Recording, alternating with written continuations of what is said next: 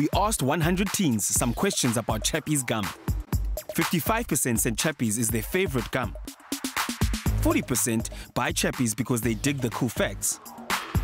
50% buy Chappies gum every day. 60% buy the Chappies brand because they dig the flavors.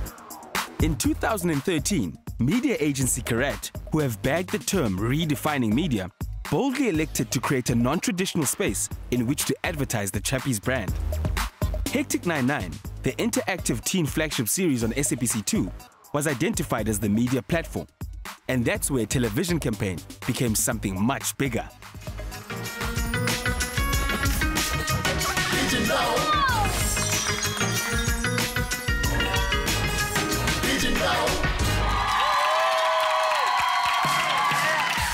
To another edition of the Chappies Did You Know Show!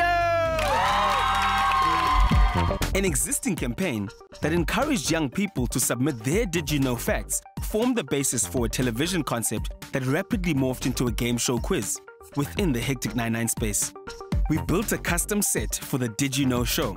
The set build took a week with fully functioning game tabs and a seven camera setup. Contestant selection took place in all major regions in Cape Town, Durban, and Joburg. 12 contestants were selected against a clear client brief that sought to represent kids who were into varying subjects and interests. Good Hope FM presenter Carl Wastie hosted the show with enthusiasm, hilarity, and style.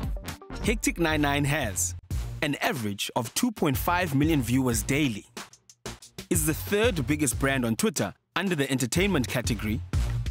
Has the sixth largest local media fan page. The Hectic 99 website has achieved 7 million hits in two years a Facebook following of 207,000 loyal fans with 2,500 new weekly fans and a total Twitter following of 43,000.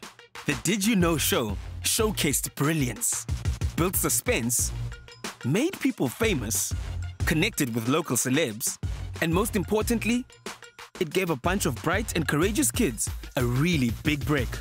The HN9 viewership peaked at 3 million. New likes on the HN9 page increased by 20,000 during the campaign. The HN9 Facebook page hit the 200,000 mark during the campaign. 541 kids sent SMS entries into the Did You Know competition. The Hectic team set a target to drive traffic to the Chappies SA Facebook page and double its followers by the end of the campaign.